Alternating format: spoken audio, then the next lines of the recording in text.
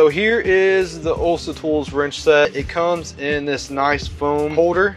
And what I really like about this foam holder is it's actually super compact. It goes from 22 millimeter all the way down to 8 millimeter. It's even got the 9 in there, which a lot of uh, sets will skip. They do have a 12 point end. I hate to say it, but to me they kind of feel like a snap-on wrench they kind of have the same cut in the in the handle of the wrench as a snap-on does they do work very well they grab very good